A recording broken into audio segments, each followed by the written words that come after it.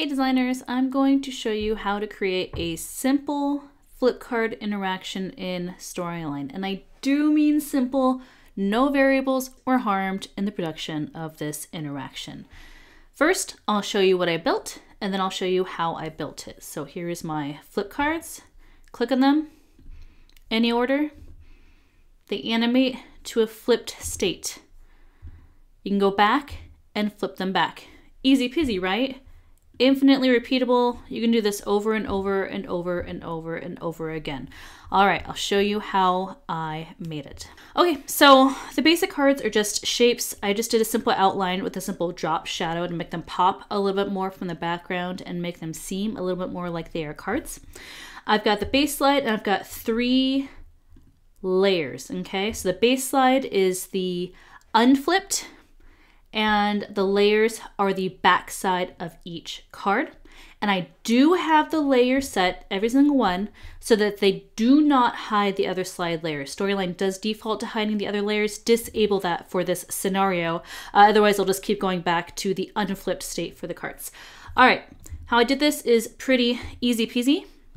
On the base layer, I've just got these three shapes. All these shapes do is have the unflipped text, and they will show their layer respective layer when the user clicks. And then each of these three layers is identical except for the position of the flipped card, obviously.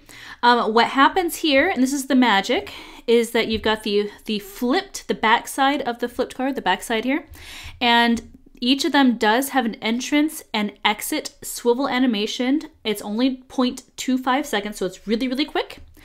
And what happens here on this layer is that the, the full layer is only two seconds long. See down here on the timeline?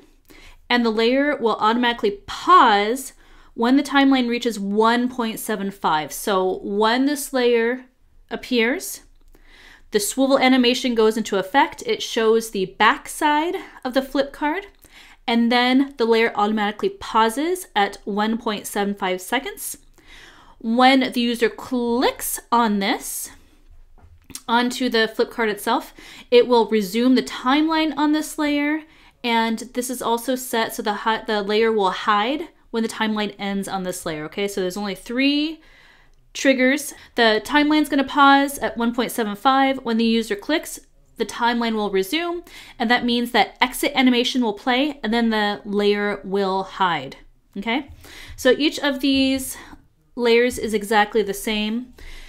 And the beauty of having the layers set so they don't hide the other layers is that um, you can do any or all of the cards. You can flip any and all of them and they'll just stay however they were and they won't hide the other layers. So I'll show you that one more time. And click these and again, it's bringing up the layer for each one of these, and the layer is where all the magic happens. There's one more thing I didn't show you. To make sure everything's really clean and pretty, I actually have this invisible shape behind each of these objects. Oops, on the layer.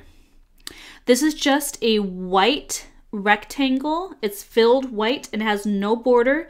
And that's just to make sure because the layer is transparent to the base layer, that's just to make sure that the base layer doesn't show again for this particular unflipped card until the animation completes. So I've got that invisible invisible shape on each of these and that's just so that um, the back the unflipped card is hidden until this completes its animation and the layer hides. So that's it. That's the whole thing. I hope that made sense and it looks pretty simple. Again, no variables required. I didn't do a couple triggers, um, but otherwise pretty simple interaction and super fun.